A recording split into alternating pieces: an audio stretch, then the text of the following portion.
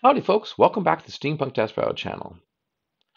Have you ever had this experience? You're reading a book and you're enjoying the novel's premise. You like its plot and its characters, all pretty good. But the experience is spoiled by something in the author's style that you find really irritating. I have, and it's really unfortunate. Style problems are not as bad as other problems like slow pacing, wooden characters, or being full of plot holes. Or a problem we have a lot these days where the author's politics gets in the way of a good story. And that's not just woke people who do that. Uh, conservatives do that too, and libertarians as well. No, this style issue is more insidious. And it happens pretty often. The frustrating thing about style issues is that the book has this annoying flaw and it just won't let you forget it. I call this problem a literary tic.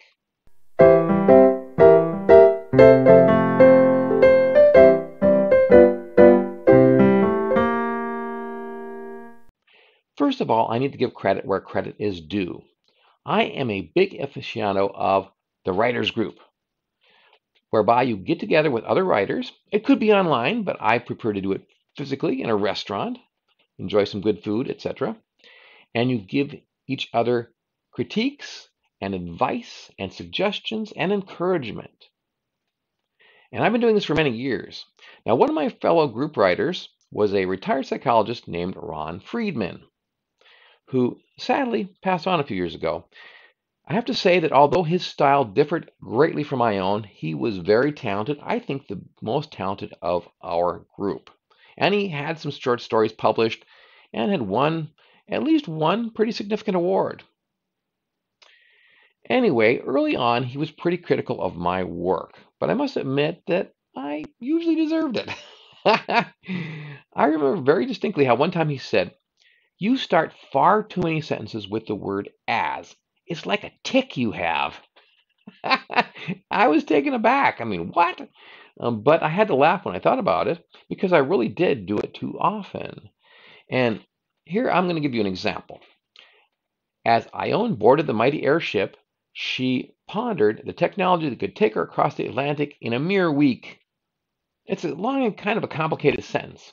And it was almost as I couldn't help myself. I love to structure sentences in this way.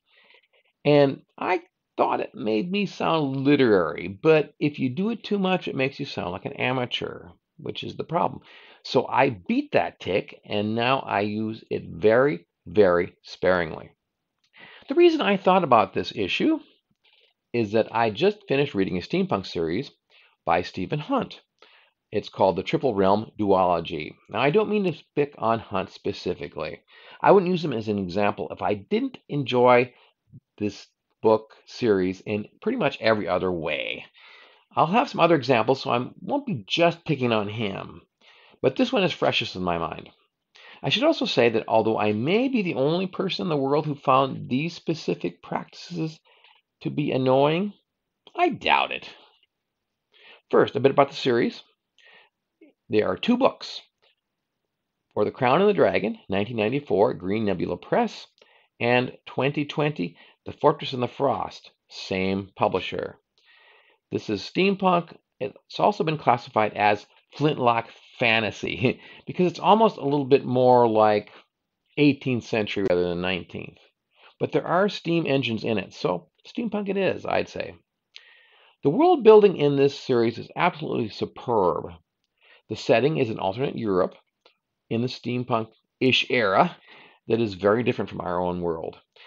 What happened was back in Roman times, the rulers started fooling around with black magic and demons and something from other dimensions. I'm not exactly sure what. But it turned out to be very dangerous and it backfired on them. And as a consequence, Rome sank under the sea just like Atlantis. And the rest of the continent also was plagued by the problems, the, the magical fallout, if you will, of this action where they had fields and so on, where they had cultivated areas, there's now wild forests, and it's very difficult to uh, cut them back because the trees are like magical, and they're menacing, and there's these wild beasts that live in them, and many of whom are like part human, like with a boar's head, kind of like the guy. was that Demon Slayer? The guy wore the boar's head, but they're actual half human creatures. So, besides that, also, the whole map of Europe has changed. There's a lot of areas that have been submerged. It's it's an early form of climate change. You know, um, basically, Spain is an island, Scandinavia is an island, southern Italy is an island, and also England and Scotland are now separate islands. And so they, in conjunction with Ireland, are the Triple Realm, which is ruled by the same queen, hence the name. But they don't call them England and Ireland. There's like Emrys and Astolat or something like that. Kind of fanciful alternate names. Anyway, uh, so it's got this cool world building, and there is also some pretty neat technology involved, some interesting coinages. For example, a kettle black is a steam powered vehicle, usually like a tank. And there is also a race of half humans, as I said. They're called demi-sapi, which means half sapient. Get it? Pretty cool coinage. The protagonists of this work are a military regiment called the Dragon Browns, which is kind of a cool name. The dragon is their symbol, and they wear brown, right? That's what the story is kind of about. It's about this regiment. And they are the worst of the worst. They're like conscripts they're like criminals who joined the army to avoid being prosecuted or even hanged. and so they do the dirty work. They have the worst, most dangerous battles, etc. But this one in this book is kind of like a plum assignment, or so it seems. They're assigned to bring back this runaway princess, this runaway English princess who went off and married a foreign nobleman in a different country, Eastern Europe somewhere. And the queen doesn't care. She wants her sister back because she's supposed to be married to a different nobleman as part of a political deal, whether she wants to be or not. So there's the setup. Now, the characters are fun. The uh, world building is great. There's a lot of weird culture and religions in there, very imaginative. But Hunt has couple of habits I found very, very irritating. First of all, there was a reluctance to use a character's name too much. And I know it can be a problem. For example, if you have one character, you're talking about one character, you can use he or she in the rest of the paragraph to indicate you're talking about the same person, right? But if you have two, it can be a little confusing. And Joe said this, Bob said this. That's why we typically have different paragraphs for change of speaker. But what if they are interacting? What if they are having a sword fight, for example? You have to usually use their own name each time. Now, some writers try to avoid that, like one character might be tall and the other's fat. So the tall man did this and the fat man did that, etc. Yeah, it kind of works. And I'd say use that sparingly. But Hunt uses it a lot, and that's one of the problems. So each of the characters has this kind of a separate moniker or nickname that he gives them. And it's not even in the book. It's not even what they call them in the book. It's just something the author has assigned.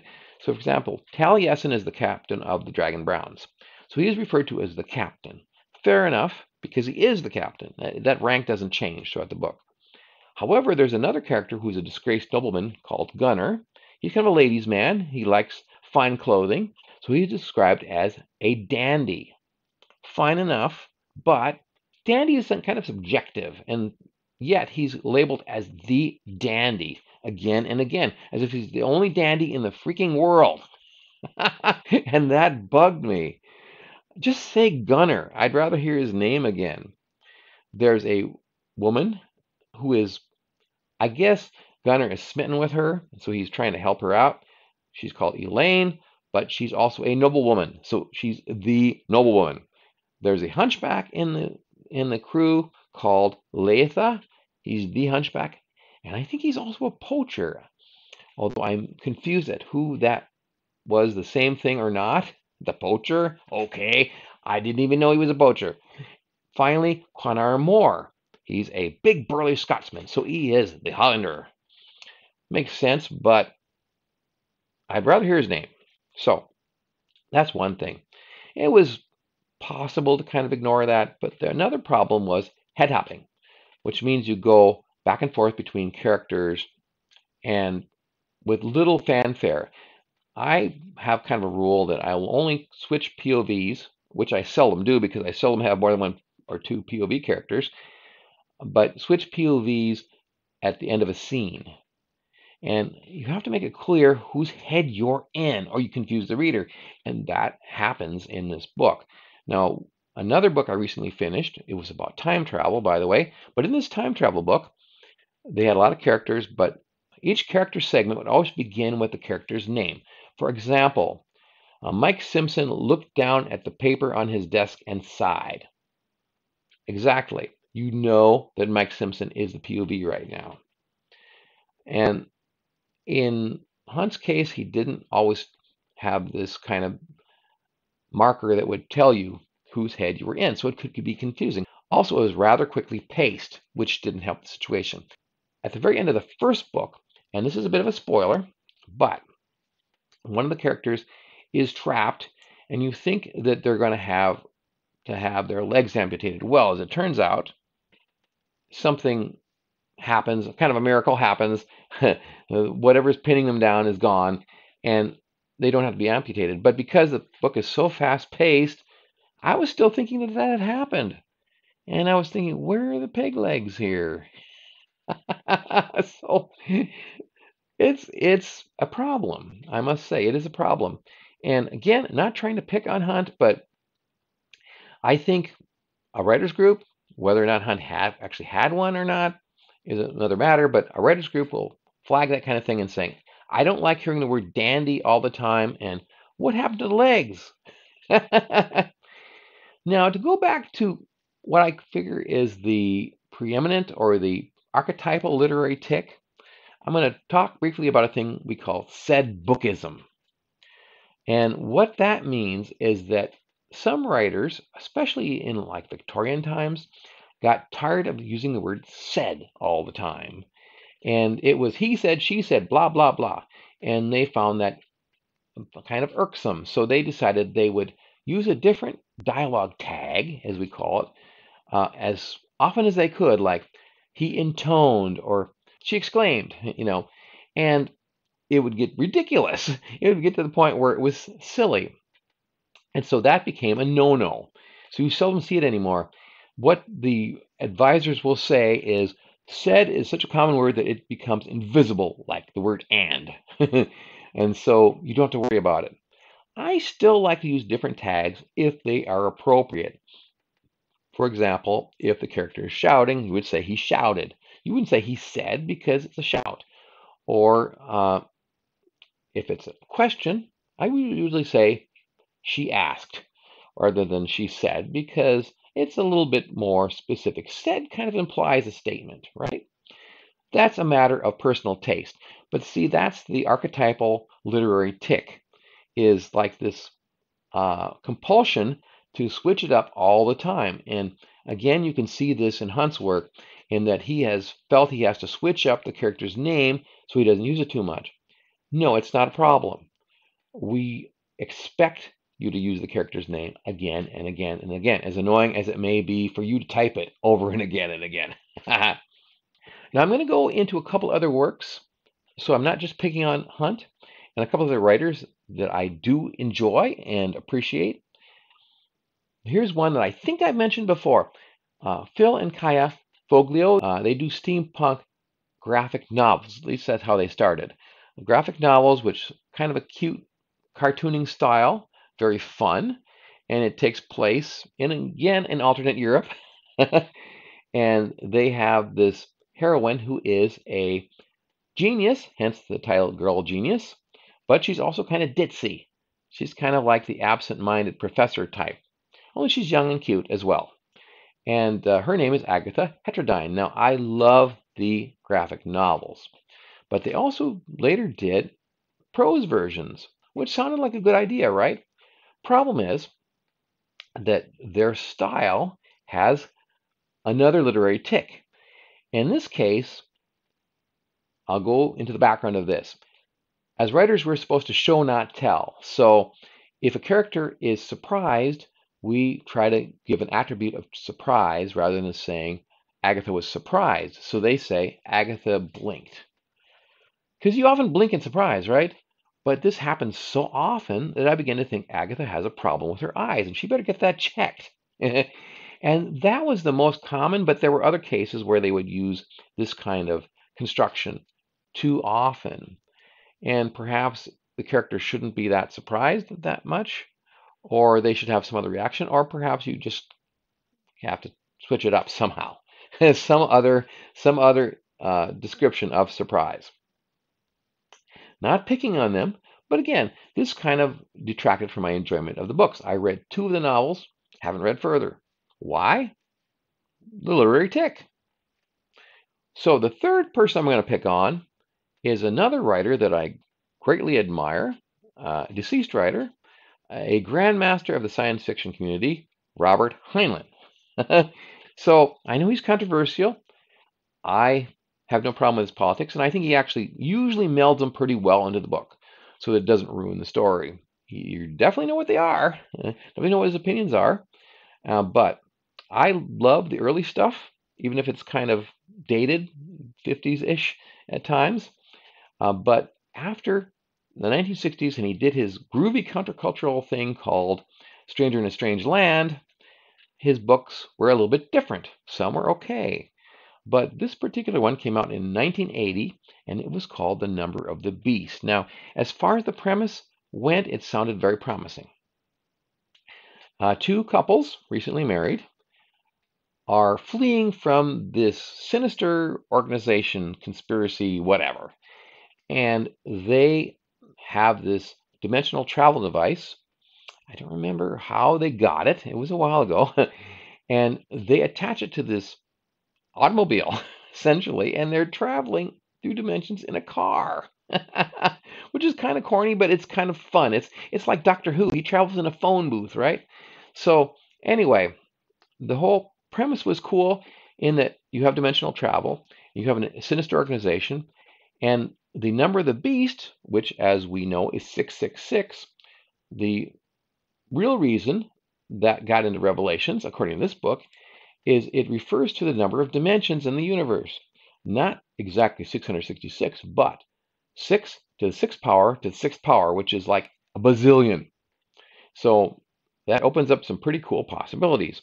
The problem with this book, though, which is why I didn't finish it, is that these two couples they have cutesy banter that drives me bananas.